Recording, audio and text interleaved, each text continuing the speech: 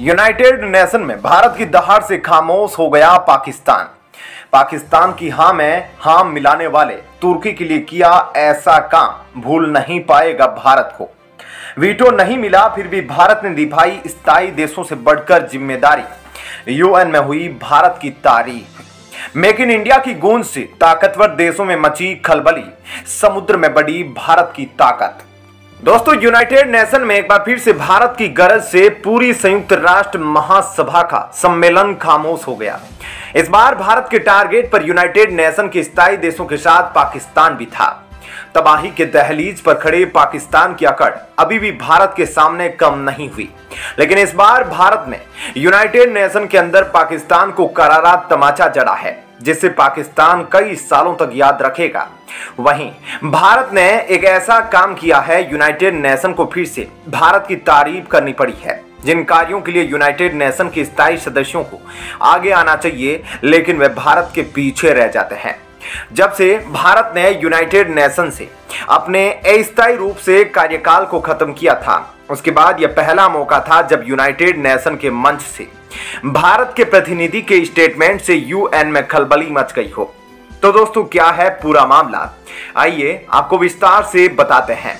पाकिस्तान का यह पुराना इतिहास रहा है कि जब भी उसका मुकाबला भारत से आमने सामने होता है तो उसके पास कश्मीर पर जहर उगलने के अलावा और कोई भी मुद्दा नहीं होता। वहीं बीते दिन यूनाइटेड नेशन में जब पाकिस्तान को अपना पक्ष रखने की बारी आई तो पाकिस्तान को इस वक्त ज़रूरत थी दुनिया से आर्थिक सहयोग की।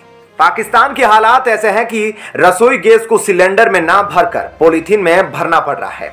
हर तरफ़ तबाही फैली है। लेकिन पाकिस्तान के प्रतिनिधियों ने जब यूनाइटेड नेशन में मंच से बोलने की शुरुआत की तो उसको अपनी तबाही की याद नहीं रही, बल्कि वह कश्मीर पर भारत को घेरने के लिए बयानबाजी करने लगा।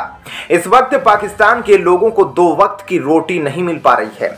ज़रूरत थी पाकिस्तान के गरीब तबके के लोगों के पेट भरने की। लेकिन पाकिस्तान को फ़िक्र है कि कश्मीर के अंदर भारत लोगों पर जुल्म कर रहा है। वहीं जब भारत के बोलने की बारी आई तो संयुक्त राष्ट्र महासभा के लिए नियुक्त भारत के स्थायी मिशन काउंसलर राजेश परिहार ने सबसे पहले तुर्की और सीरिया में जो इस वक्त प्राकृतिक आपदा आई है, उसका ज़िक्र करते हुए बताया कि भारत की ओर से हर संभव मदद भेजी जा रही है। जैसे ही भारत को जानकारी हुई कि तुर्की में भूकंप और बर्फीले तूफ़ान ने कहर मचा रखा है, भारतीय सरकार ने बिना कुछ सोचे समझे फ़ौरन ही वायुसेना के दो ट्रांसपोर्टेशन विमानों को तुर्की के लिए रवाना कर दिया। भारत की ओर से भेजी गई पहले विमानों में राहत और बचाव की कई टीमें रवाना की गई। वहीं दूसरे ट्रांसपोर्टेशन विमान में मेडिसिन के साथ कई मेडिकल स्टाफ को भी तुर्की के राहत बचाव कार्यक्रम में भाग लेने के लिए भेजा गया। यह वही तुर्की है जो यूनाइटेड नेशन में पाकिस्तान की तरह कश्मीर के मुद्दे पर भारत को घेरने की कोशिश करता है। यूनाइटेड नेशन में भारत ने दिखा दिया कि जब यूनाइटेड नेशन के देश तुर्की और सीरिया की मदद के लिए योजनाएँ बना रहे थे उसके पहले ही भारत ने तुर्की और सीरिया के बचाव के लिए अपने ट्रांसपोर्टेशन शिप को उन देशों में लैंड करा दिया। भारत के इस कार्य की यूएन के अंदर जमकर तारीफ़ की गई। उसके पहले ही भारत ने अबई में अपनी महिला सैनिकों की तैनाती करके अबई के अंदर शांति व्यवस्था कायम करने की ज़िम्मेदारी अपने कंधों पर उठाई थी।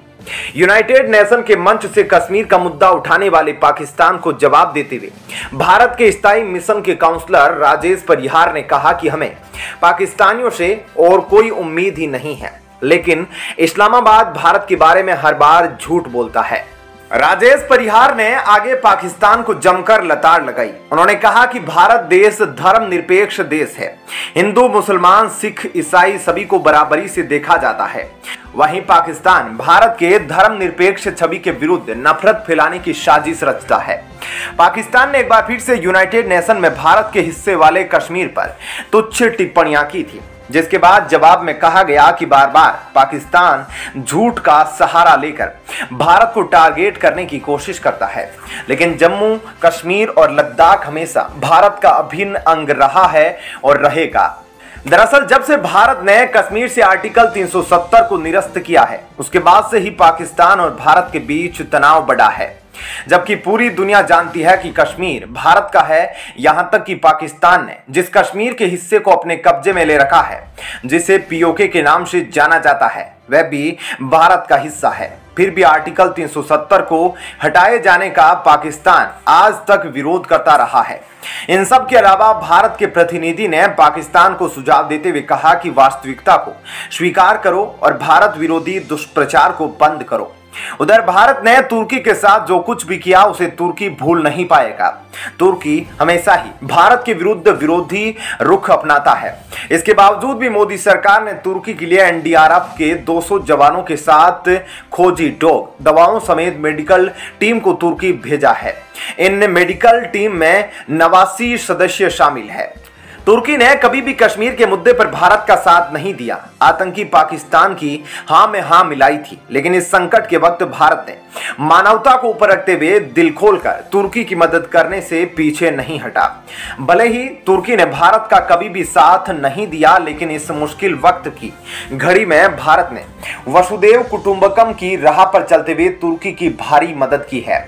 दोस्तों, अब आइए आपको एक और महत्वपूर्ण खबर के बारे में बताते हैं। भारत ने अपनी स्वदेशी तकनीक से फ्रांस, रूस और अमेरिका जैसे देशों को दिखा दिया कि भारत के लड़ाकू विमानों में भी वह काबिलियत है जिन्हें आसानी से युद्ध पोतों से भी ऑपरेट किया जा सकता है। उधर आईएनएस विक्रांत पर राफेल एम के साथ मिग उनतीस और twin engine based fighter jet को तैनात किया जाएगा। इस युद्धपोत की लंबाई दो सौ बासठ मीटर लंबी और उनसाठ मीटर और चौड़ाई बासठ मीटर है। आमतौर पर युद्धपोत तैनात आमतौर पर युद्धपोत पर तैनात होने वाले लड़ाकू विमानों को छोटी दूरी में ही लैंड और टेक ऑफ़ करना होता है। इसलिए अभी तक दुनिया में कम ही ऐसे देश हैं, जिन्होंने युद्धपोतों पर तैनात होने वाले लड़ाकू विमानों का निर्माण किया है। जिस तरीके से फ्रांस में राफेल लड़ाकू विमान का निर्माण एयरफोर्स और नेवी दोनों के लिए किया गया।